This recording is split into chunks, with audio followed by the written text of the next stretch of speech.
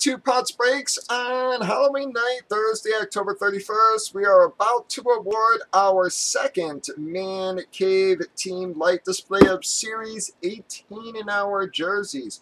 We have our 10 qualifiers loaded. I got Gigi, Sabres, Dog, Blaine, Brandon, Blaine, Gigi, Blaine, Gigi, and SD Tiger, our last qualifier just a minute or two ago.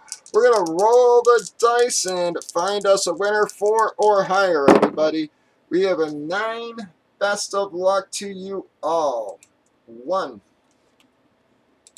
two, three, four, five, six, seven, eight, winning click, folks.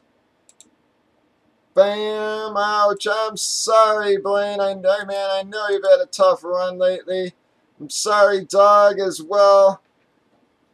but Gigi is going to take that one, folks. Actually, our last, like, a few here have gone either Gigi or Blaine.